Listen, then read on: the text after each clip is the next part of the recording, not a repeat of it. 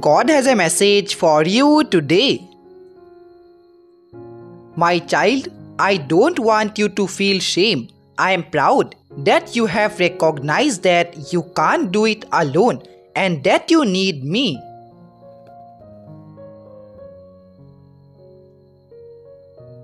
I am here with open arms. I am ready to carry you. So let go. I love you. You have overcome many obstacles. You have done things that you thought weren't possible.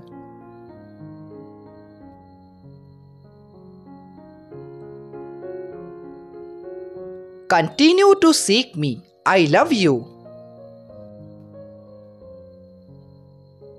Type yes if you agree.